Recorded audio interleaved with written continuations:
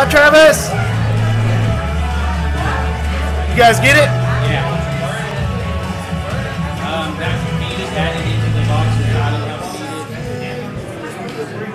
Okay, okay.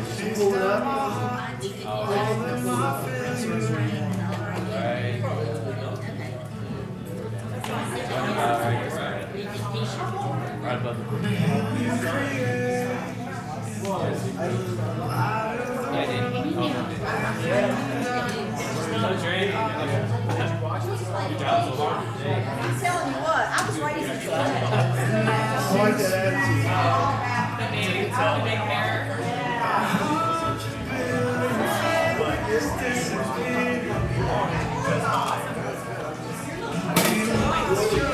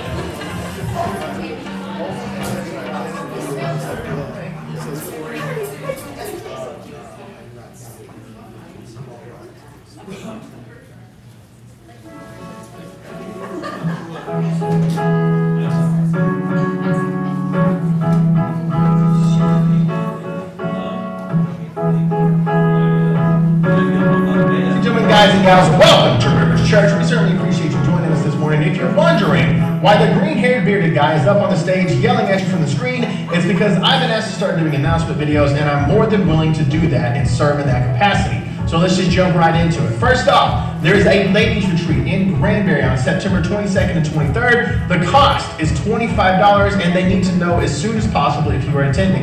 I believe the contact point for that is Katie Burton. Now, I don't know anything about this firsthand, but secondhand, I've heard it is an amazing experience. If you've never been, find someone who has been before, ask them a few questions. Just get with them as soon as possible. Today, I believe, would really be the best opportunity for you to do that so that they can kind of get an idea of how much food they need, okay? Definitely, please, if you have the opportunity, check it out. Next up, September 24th, here in Glen Rose at Rivers Church in the evening after the ladies' retreat, we will be having a barbecue. That is right, the church will be providing the meat, the church will be providing the beans. You bring your beautiful, sparkling personality and yourself, maybe a guest, and definitely, if possible, bring a side, a dessert, maybe some beverages, something along those lines, just to kind of help out okay? Invite someone who has never been to church here before, because this is Texas, y'all. Somebody may not come to church on Sunday mornings, but Sunday evening, if they hear there's food, they are ready to go, okay? We all know this. We are all guilty of showing up for the food and skipping the actual sustenance. So please, if you get the opportunity, invite somebody to come, okay? There's a lot of people out there who normally would not come to church, but through things like this, have managed to get involved in communities and they really grow. It's how we reach people, okay? So please, please, I'm begging you, find somebody, invite them, bring a side, bring a dessert. Thank you so much. I hope that you guys have a great day.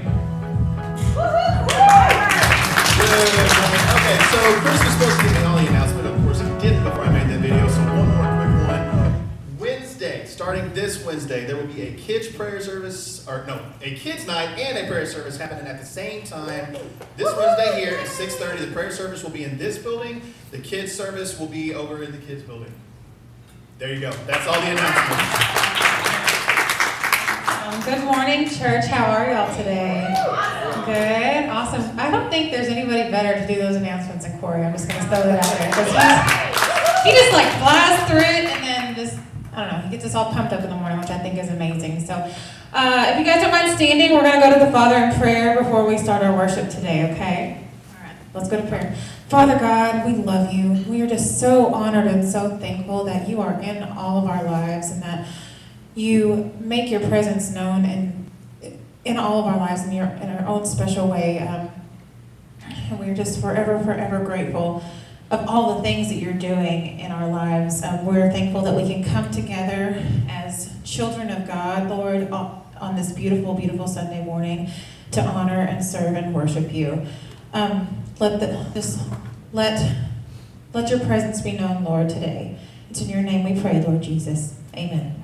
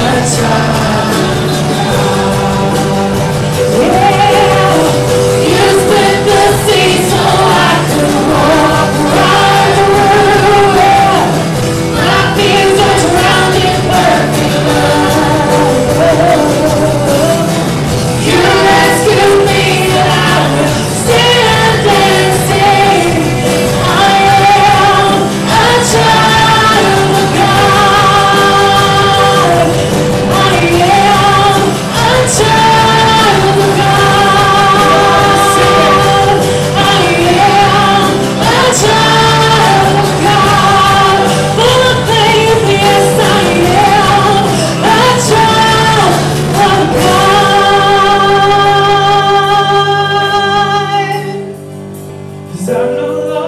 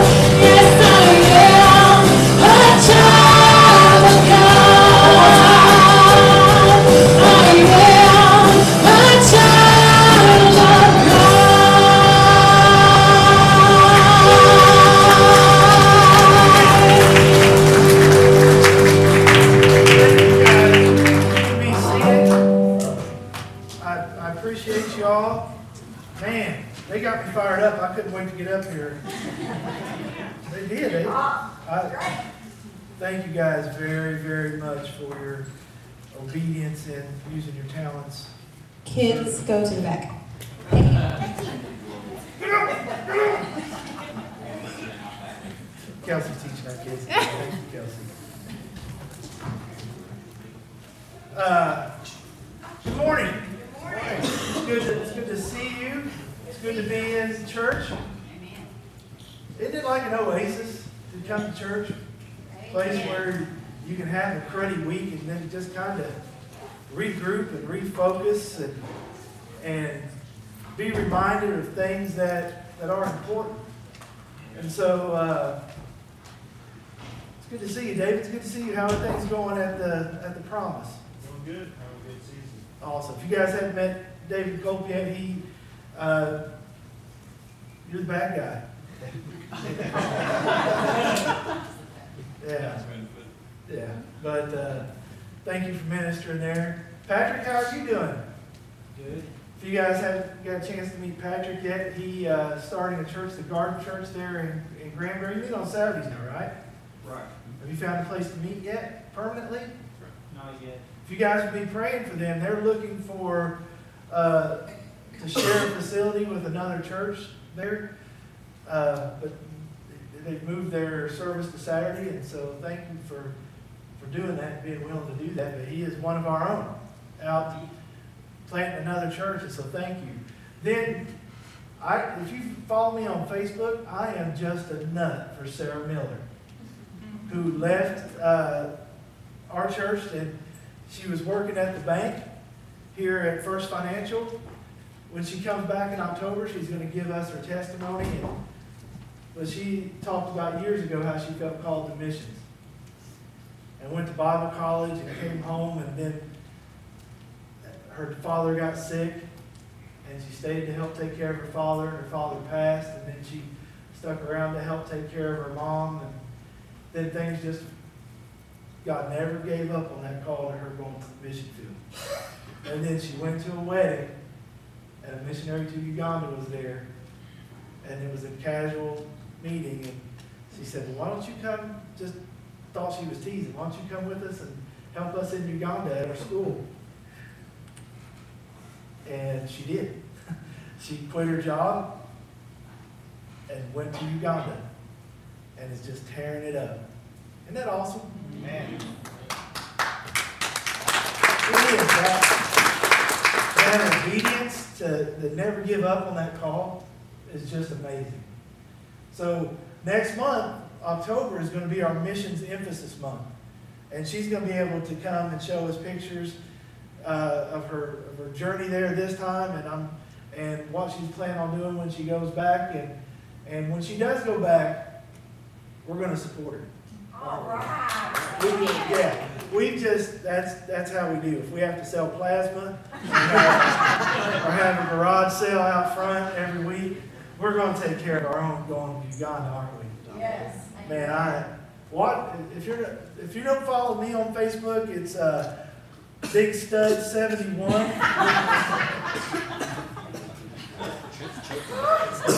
It's not, that's probably somebody, don't follow that. Yeah, but it's, uh, Chris Kitts, if you get, it's Rivers, it's Rivers Church slash Glen Rose Baptist Church on Facebook if you want to follow us there, and we usually put some of those pictures up there.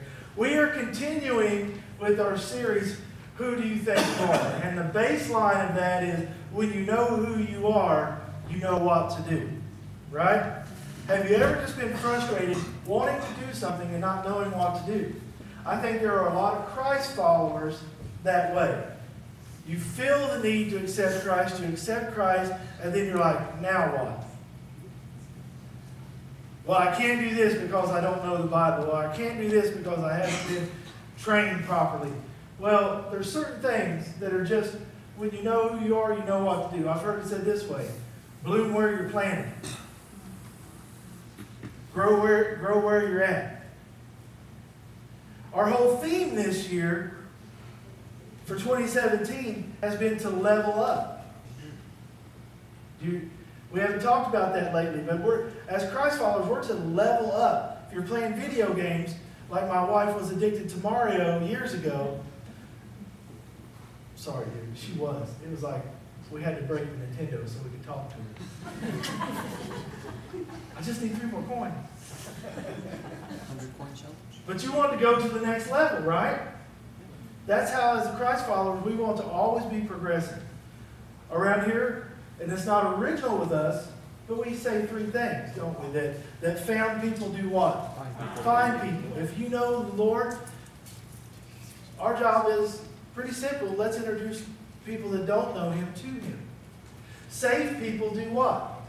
They serve people. If we know the Lord, there's something for us to do. Now, it's going to look different for everybody. What you're going to do is not what I'm going to do, but collectively we get things done.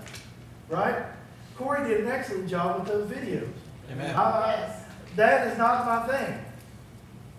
So try to find something that is our fit, try. If you don't find the perfect fit, try something, then try something else. You know, if we're do- if there's something that God's calling you to do that we're not doing as a church, let us know. Then we got your back. But we're not, we're meant to serve. And growing people do what? Change. Change. If, if you're a Christ follower, you're to, to be growing. Stagnant ponds have no life in them, do they? You ever been around a stagnant pond? Got that little glaze on there? I'm talking about? You're not, putting a worm, wasting a worm on a stagnant pond, are you? We don't want to be stagnant. That's why we, part of the reason why we changed our name from Glen Rose Baptist to the Rivers. We want to be a river of God's love to our community. To where when things flow in, it needs to flow back out. And so all that relates to what we're talking about. When you know who you are, you know what to do. We put a lot of pressure on ourselves, and the devil psychs us out a lot, doesn't he?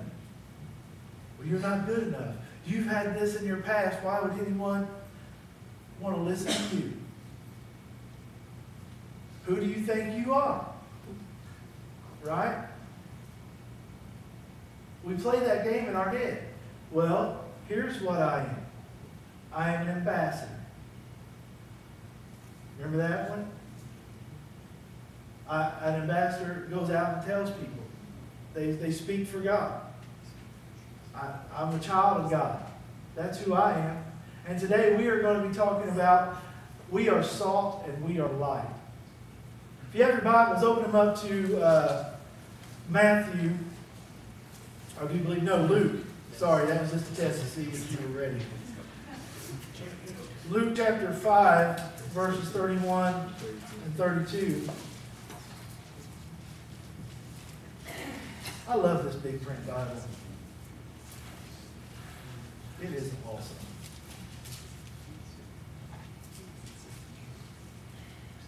I think it could probably be the size of those guys like on the sidelines with the pictures of stuff calling in plays, like, and I would still get stuff from.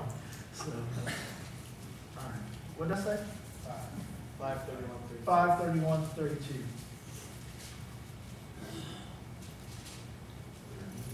I'm getting there, I promise. All right. Jesus answered them, healthy people don't need to see a doctor. Sick people do. I have come not to call those who think they are righteous, but those who know they are sinners and need to repent. If you are looking for a perfect church, you will not find it. If you are looking for a church of perfect people, that does not exist. Our church exists for hurting people. We're all hurting in some way or another, aren't we? We're all broken some way or another. In the Bible, it says clean stalls aren't being used right. That's the Chris version of that, but right? Stalls are full of things that are in stalls, horse stalls, because I am a cowboy. I rode a horse two weeks ago and I'm converting to full cowboy. I am. Oh, yeah. I did that just for Tammy. Yeah. Here I am. But we are, there's going to, whenever there's a, let me say, say it this way. I remember, and you've heard me say it, when I was a youth counselor, we were picking up a lot of rough kids in Abilene. Picking them up on the bus, and we were running a lot. And we were picking up kids that were, here's, here, here's what happened one night. Lonnie Learman, the pastor of Granbury, was the youth pastor, and he came up and he said, hey, a couple of these kids that are called the Colossal Brothers, you remember them, Kelly? That they were twin brothers and they were pretty rough and they were in a gang. He said they did, they said some stuff and told people they were going to be at church. And then they said they were going to come by and shoot up the church. And so I'm going to have all the kids sit on the floor and don't tell them why. to keep them away from the window. Now, okay. And then that's the kind of crowd we had. Right? And then one night, we got a letter, an anonymous letter from someone saying, it looks like those kids over there are just a bunch of unsafe kids. This is a church. Yes, it is. And we were like, yes. because what's this verse say? Sick people, healthy people don't need a doctor, do they? That's why we exist, isn't it? We're a triage for hurting people. Whether they attend our church or not, we're to minister to anybody.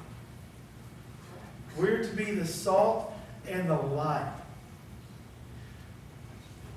If you're taking notes, you are the salt of the earth and the light of the world. Let's turn to Matthew chapter 5, verse 13, and we'll cruise on. It's just a couple more over. So when you know who you are, you know what to do. If we're salt and light, that's pretty basic things, isn't it? Is someone just serious? Is that my hearing aid going on? I used to love to sit next to my father-in-law in places and make his hearing aid go off. Or just go sit next to him and go.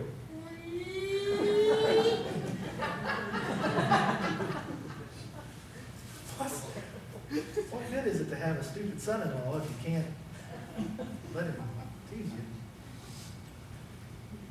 you?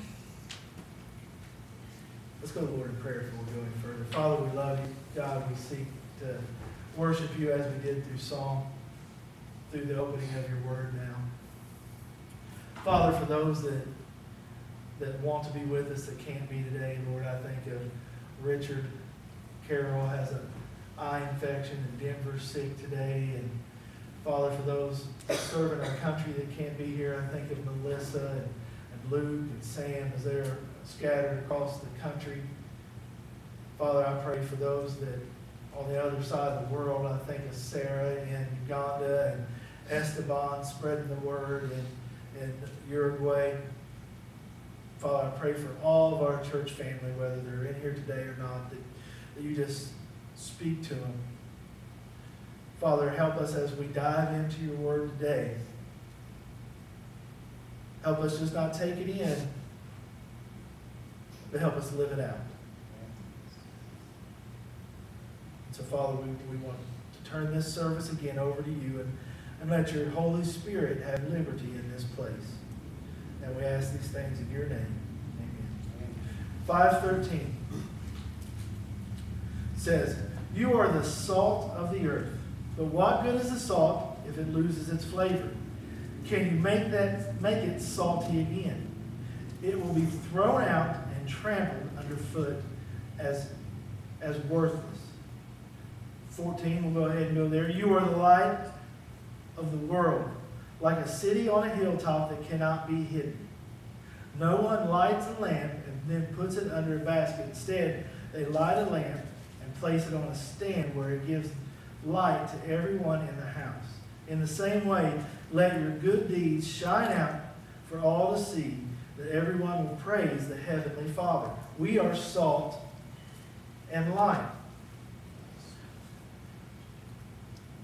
When this was being written, this is uh, Jesus speaking, his Sermon on the Mount, and he's saying, he's a, the best teacher ever that's ever lived, one of the best communicators. He uses the word, you're salt. You're the salt of the earth. Well, salt was pretty important.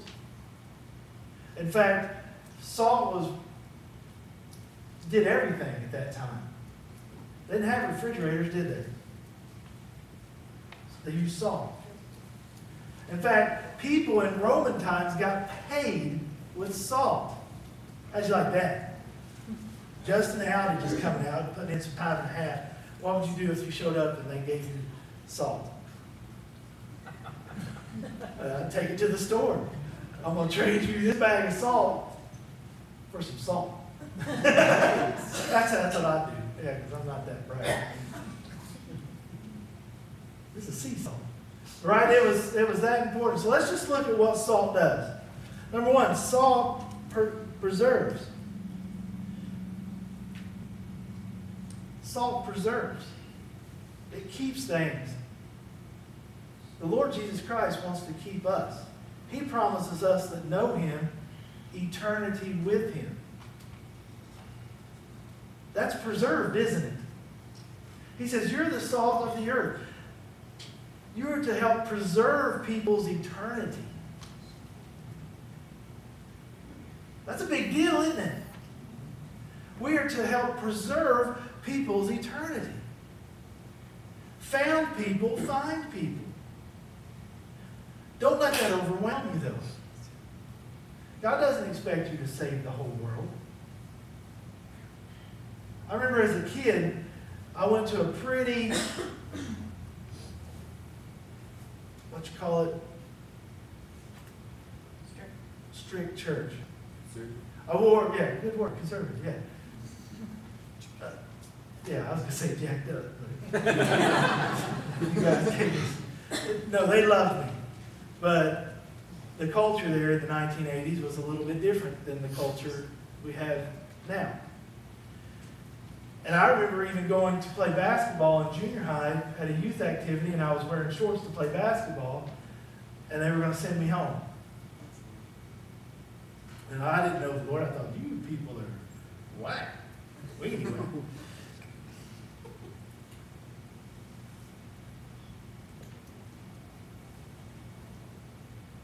But at that same time,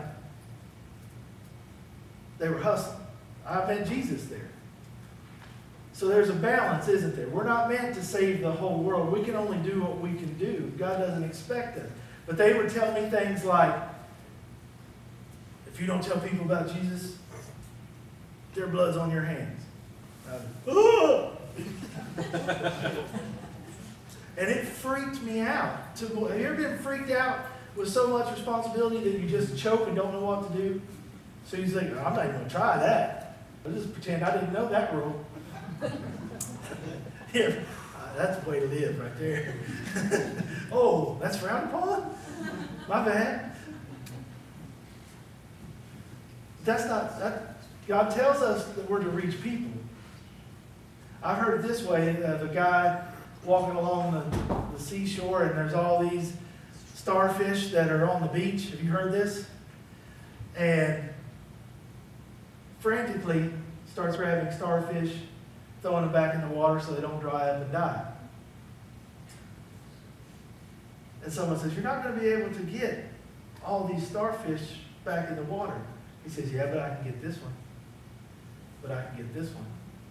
But I can get this one. Amen. And that's what we're to do with our life. We're to preserve people's eternity. If God puts someone in your path, you should rub off on them.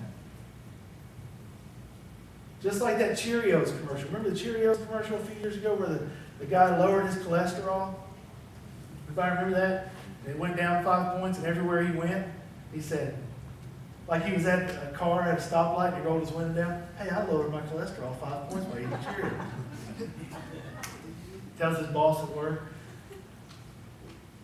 What's in the well comes up in the bucket. Is that a better Texas phrase for you? What we're stewing on is going to come out somewhere, isn't it? So if we are being filled with Christ, it's going to come out and affect people around us in a genuine way. Whether we've got our act totally together or not, right? We preserve people's eternity. When we are, it just comes out. You can't help it. You ever been into something and it's a hobby? And have you ever been anybody does CrossFit? If you have, you know about it because they talk about it all the time. I was flipping some tires yesterday. now I'm jacked.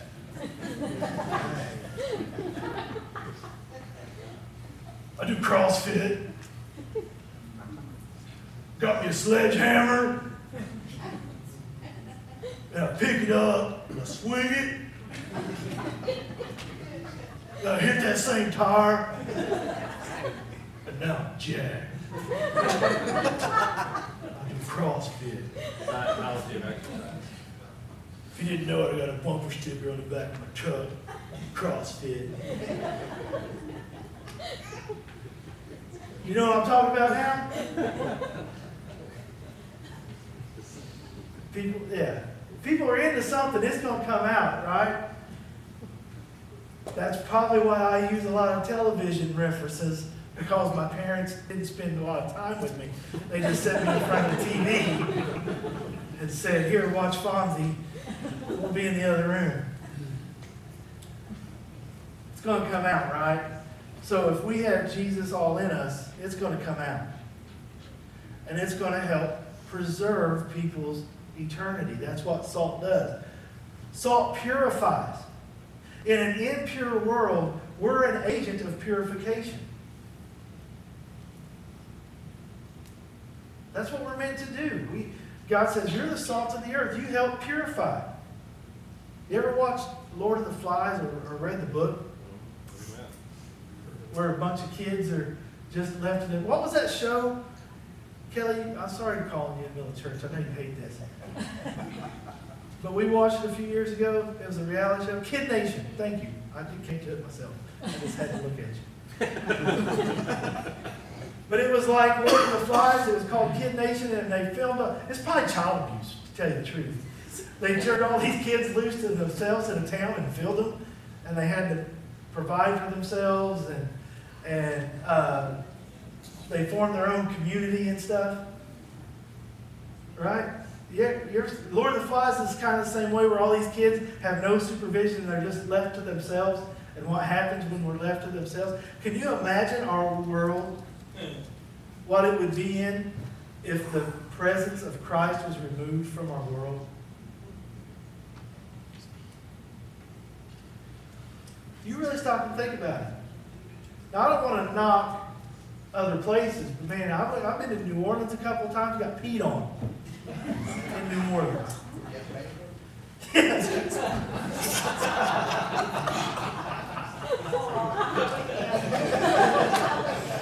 if you guys couldn't hear that, good.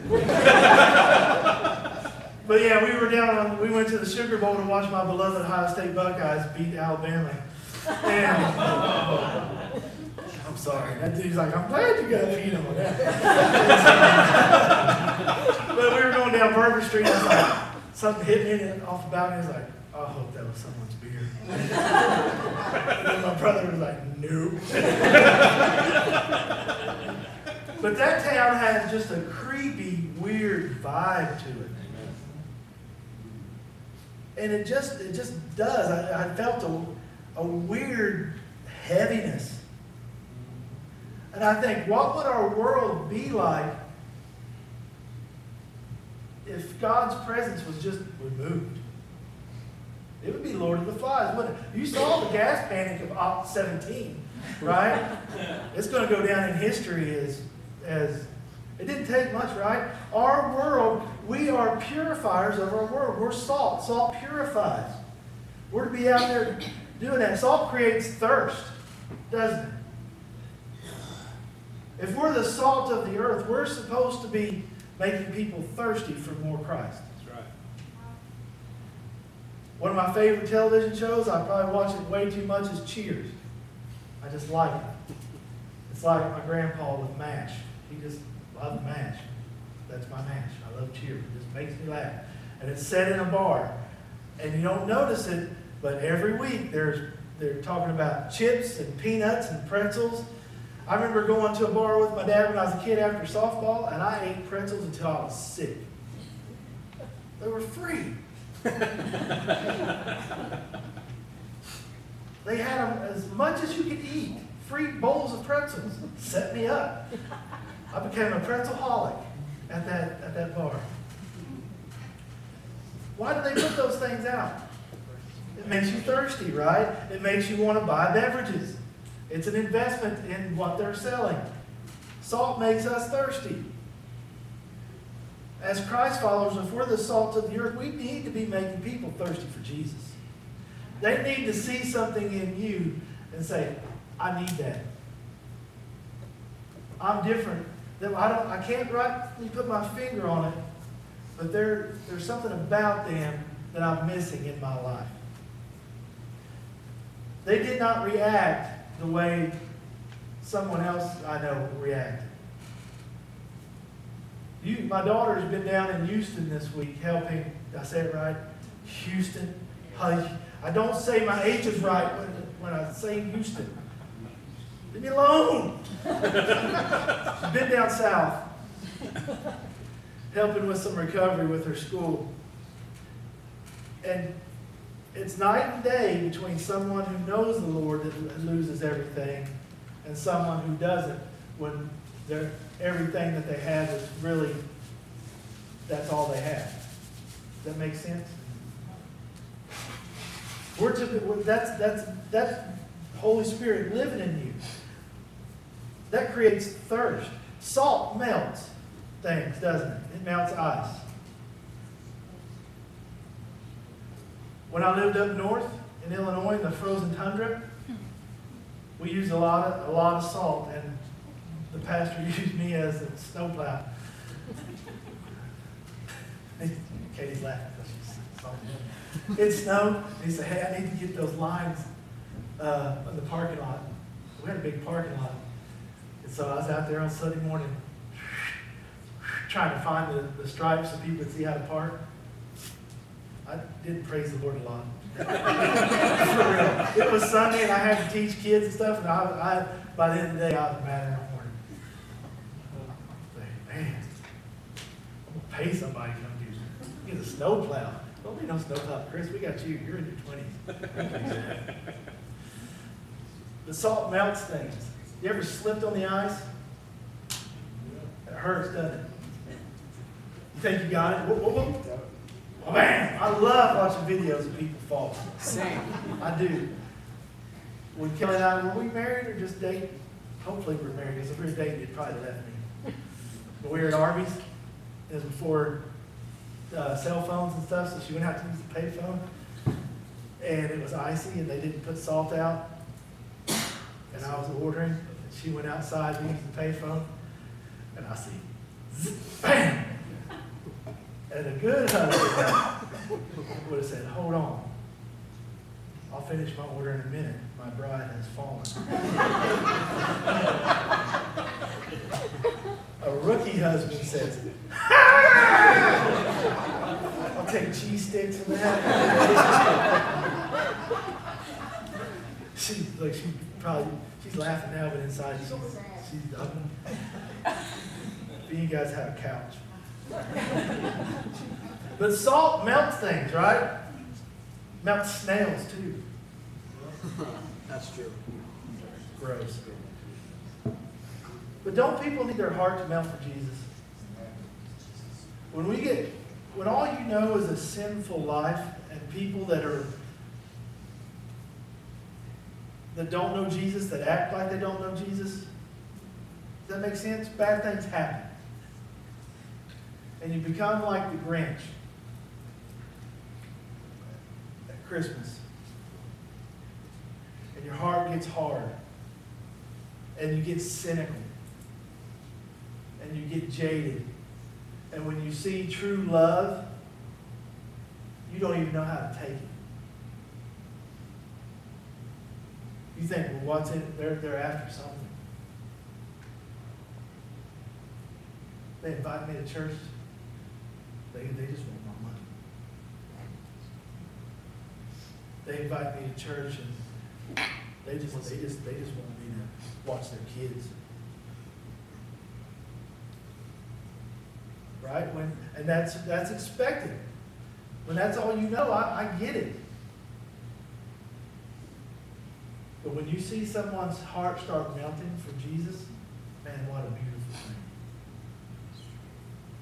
If you've ever had the opportunity to lead someone to the Lord, you know what I'm talking about. To see that light come on and they say, hey, I get it. I need Jesus. And to see that goofy grin on someone's face after they accept the Lord because they feel like the weight has been of the world has been lifted off their shoulders. We're to be salt that helps melt people's hearts. You know what? Salt heals as well, doesn't it? I got this scar. It looks like I am struggling with hurting myself, but I'm just stupid. uh, we were about to go on vacation, and I had a grill outside the house, and my dog Kramer. Kramer was a cool dog. He, we named him Kramer because when he was a puppy, he would walk in the room and go, Ugh, like that, like, Kramer, and he'd fall down. He's a good dog, and he loved me. I loved him. But he always was under my feet. And I went outside to, to go do something before we left to go on vacation. And I tripped over that dog and landed on the grill, and I cut my wrist right there. I got that little bitty scar there. And it, it was kind of gross for a while. And I, we were going, it was right before your grandmother passed away. We went, I did my scuba diving test in Possum Kingdom Lake. And then, you know, taking a big bloody wound and then diving into Possum Kingdom Lake. I don't know if that's the best thing for it. Yeah. But I just had it wrapped up with gauze and then had a, wa- my dive watch over it. No one really saw it because I didn't want people to think, is everything okay in your life, Chris? but then, about a week later, we got to go to the Cayman Islands with Kelly's parents.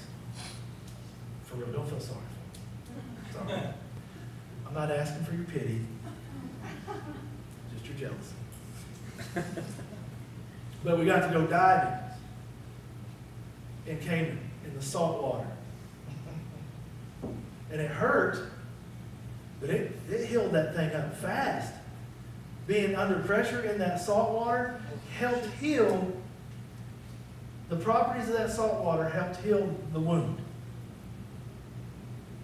Salt helps heal. There's a lot to it when Jesus says, Hey, you're the salt of the earth. He's saying a big statement, isn't he? You are a big deal. You're the salt of the earth. He says, You are the light of the world. You ever been in a really dark room? Trent, will you turn all our lights off? Will you turn the spotlight off and the blue lights off? All right, now look around. There's still some light in here, but you know, you notice the where the door's not sealed up real well down at the bottom there, and back there in the back right, my right, your left, back there, and you see the light coming through the crack of the door there, and the the computer. All right, you can turn it back on. Thank you. Still here. Would have been awesome if you all got and left.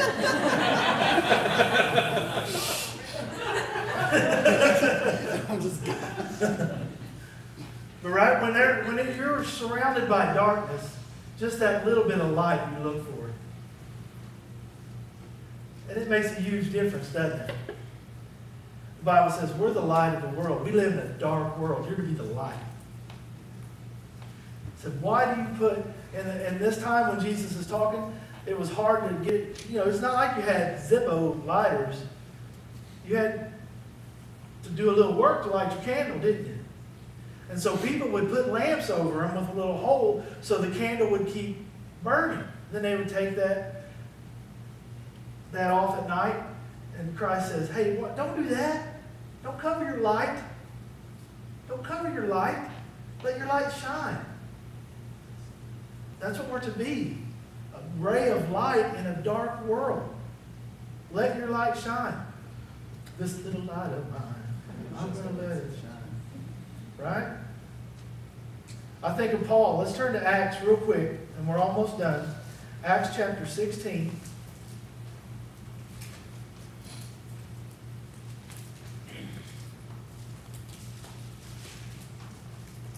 I'm hurrying. I'm hurrying.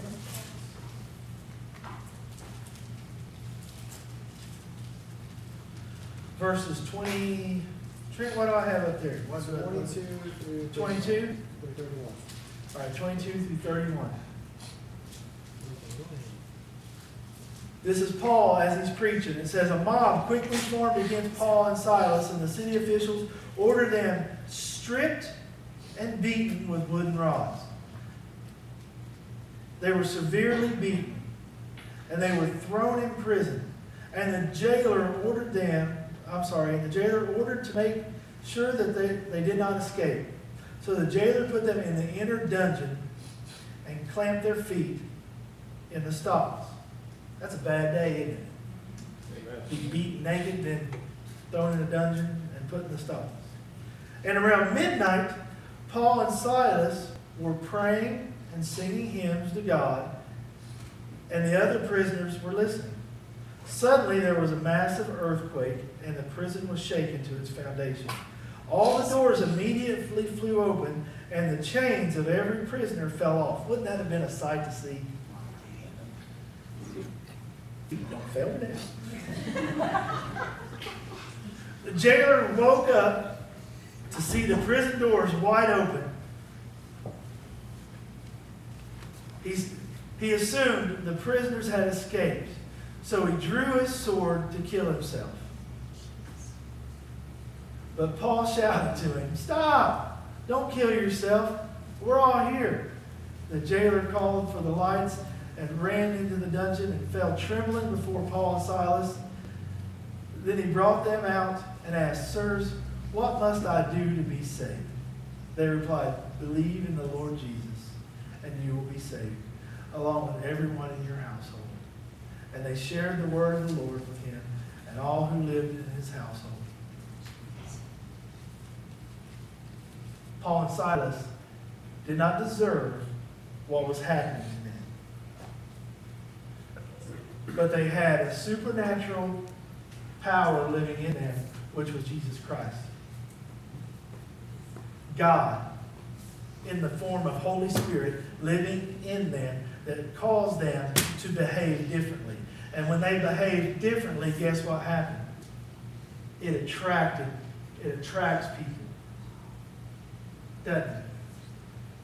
We need to let our light shine. Don't let our light get blown out. Because you live in a world that is a hurricane trying to blow your light out. Two reasons. We hide it.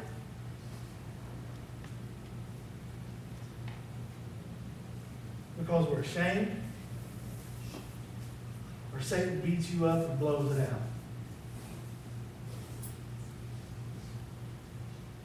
And it, and it can happen to anybody.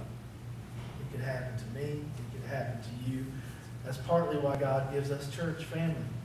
For iron to sharpen iron. And for us to encourage each other when we're down.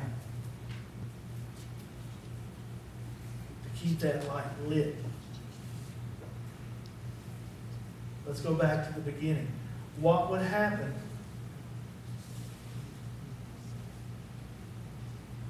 God's presence was removed from the world? Would you want to be there? So if God says we're the salt and the light, we're to be used to change lives. Aren't we? But don't put so much pressure on yourself to think, oh man, I got to change everybody's life around. God says, I made you the way I made you. All of your experiences, good and bad, are made up of who you are. I want you to genuinely pursue me, and then you will genuinely draw people to me. Whether you've got it all figured out or not. I will take that bad situation that happened to you and use it for good. I will take that hurt that you feel and help heal it. So in turn, you can live it out in front of someone else. Let's be salt. Let's be light. When you know who you are, church, what is it? You know what to do. So this week, last week we talked about it. When Satan tells you lies, we're to take every thought captive, aren't we, and hold it to submission of Christ. Is this true? God, am I, am I no good? I feel no good. Is that true? No. I'm fearfully and wonderfully made. God makes no junk. That's what's true. Who do you say I am? You say I am salt and I am light. So when I go to work today, even though I don't feel like going to work today, even though I've got a thousand problems, I'm going to be salt and I'm going to be light. Because guess what? God's going to put someone in your path that needs you. The job that you have, the, the friends that you have, are all on purpose. It's not a mistake. So you have divine appointments. And just as much as you're doing that for someone, someone's going to be doing that for you. So be looking for it. Can you do that, church? With every head bowed, every eye closed. I dare say today that some of you don't feel like you are capable of doing what God says you're capable of. That you are salt and that you are light. That you are salt and that you are light. And that you are valuable. You don't feel that way. I've heard it said this way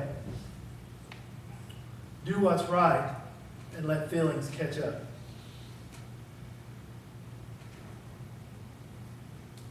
A lot of days I don't feel godly.